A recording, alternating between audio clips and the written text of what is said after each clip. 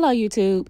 In this video, I'll be showing you my updated start to finish knotless braid routine. This style actually took me six and a half hours to complete and y'all, they turned out good, but it took a long time. So yeah, let's get into the video. So we're gonna start off with my hair looking like this. Don't ask me why I decided to start this style at 10 o'clock at night, but your girl was like sick of this hair, so I had to do something to it. So far as products, we're going to be using the Freetress Line hair in 28 inches, the Shine and Jam for our parts.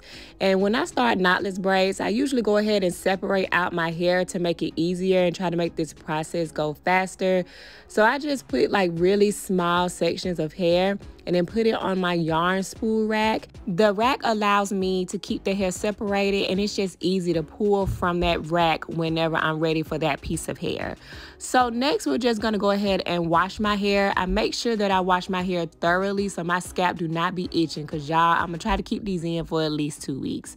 So after I wash my hair I go ahead and dry it like normal with a towel Next, I detangle my hair with a leave-in conditioner. I actually separate my hair in sections and then put the leave-in conditioner on and then detangle my hair from the bottom up. Once I have that piece of hair detangled, I uh, twist that section and then move on to the other sections that's in my head.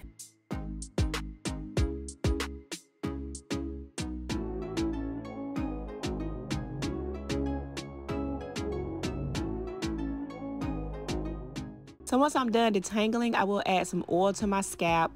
My scalp tends to get really dry really fast, so this just allows my scalp to stay moisturized. I do massage that oil into my scalp. After this, I will go ahead and blow dry my hair. And if you haven't seen my blow drying routine, you can check that out. But I do put heat protectant on my hair and then start blow drying.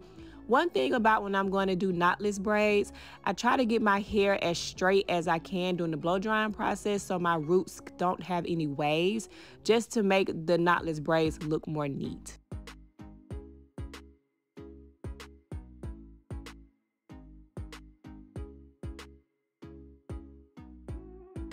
Okay, so we finally about to start the braiding process, y'all. And if you've been paying attention, it took me about an hour to do all of that prep work. But anyways, first I section the front of my hair off. And I just do two sections, one on each side. And then the back portion of my hair, I just put in a ponytail just to get it out the way. I'm to start in the front just because, yeah, it's just easy for me to do that.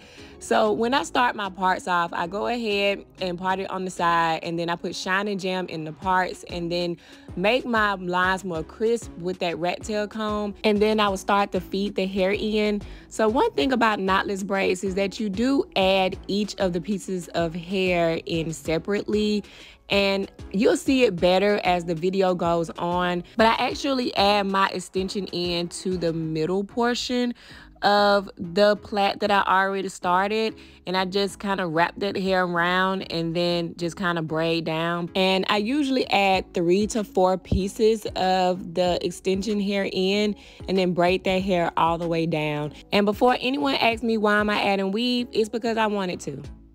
Okay. So anyways, here is a better look of how we're going to add that hair in. Normally, I will go ahead and separate it into three sections and then I will start by starting my plait and then I will add the extension hair to the middle portion of the braid and then connect it with my thumb and then wrap that around and then do that motion three times while adding in the extension hair. So you'll see me here pushing it up to the braid with my thumb and I'll be doing it again, pushing up to the braid with my thumb and then braiding it down. So for the next couple of minutes, you'll actually see me doing several knotless braids throughout my head. I did want to tell y'all about a knotless braid playlist that I have already on my channel. This playlist has anything to do with knotless braids, such as how you take care of your knotless braids for longer wear, some different styles that you can do, and also it has a video on how to do some goddess braids as well when they are knotless. So I am going to link that playlist up above, and yeah, check it out if y'all want to. So also when it comes down to the front of my head, you will notice that I made those sections bigger and put little swoops in the front just because I did not want to put a lot of tension on my edges. So yeah, I just thought it would be cute to try to add some swoops in the front, y'all. So yeah.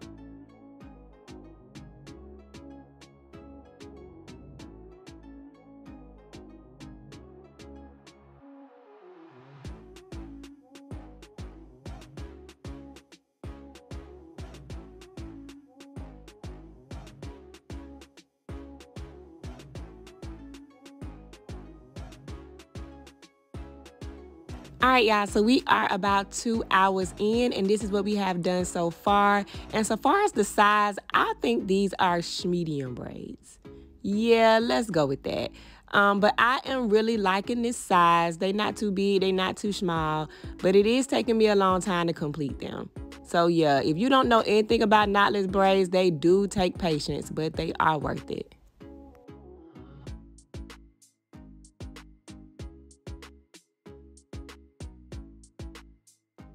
So the front half of my hair is done and as you can see it only took me about three hours which is a mess. But anyways you see how long these are and I am loving the length y'all. I think that's really why it's taking me so long to complete these. But here's what we have so far. Um, I think it looks good with the exception of some crooked parts but y'all know I ain't worried about these parts honey. So yeah let's just get on to doing the rest of this hair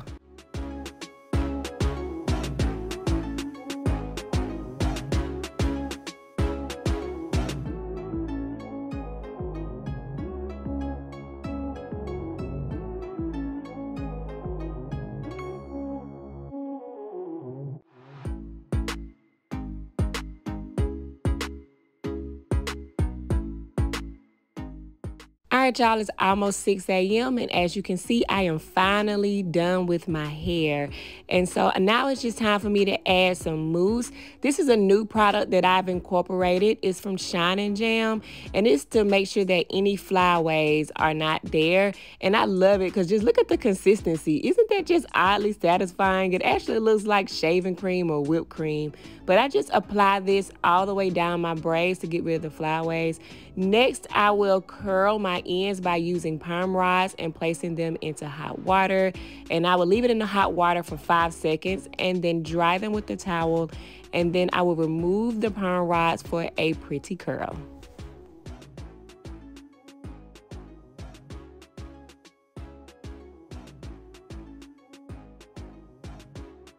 So I wanted to add some decoration. So I did add some little gold hoops to my braids.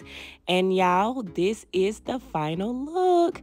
Y'all, I do really like these braids. It did take me about six and a half to seven hours to complete them.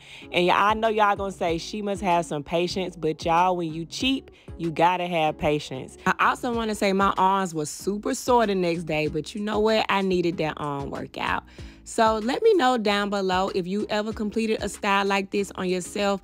If so, how long did it take you? Or do you even have the patience to complete something like this on yourself? All products that I use will be linked down below as well as that playlist about knotless braids that I mentioned earlier in the video.